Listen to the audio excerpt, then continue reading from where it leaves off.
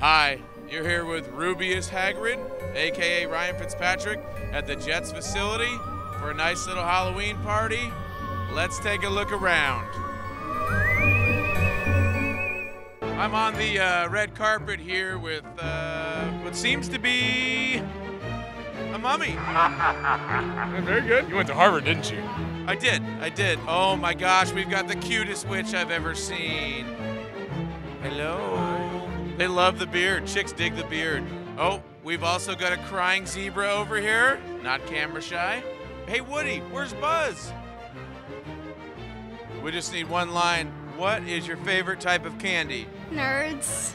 Nerds. That was going to be my guess. Here with Eric Decker and his lovely wife, Jessie, and Jessie's mom, sister.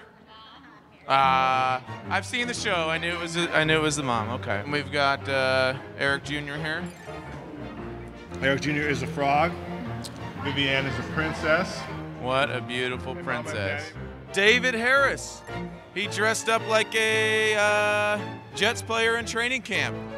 Chris, who uh, who did you decide to dress up as today? Well, I didn't have time to dress up, so I just came as myself. Oh, you're very beautiful. It's a nice look.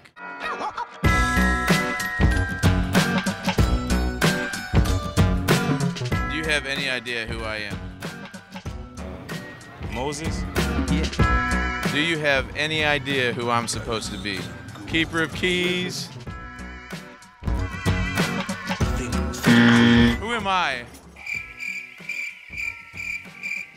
No? Are you the hunchback from Notre Dame? Good guess, but um, have you ever read or seen in the Harry Potters? Oh, that weird guy. The weird guy. Yep, Hagrid. A spooky, scary fright.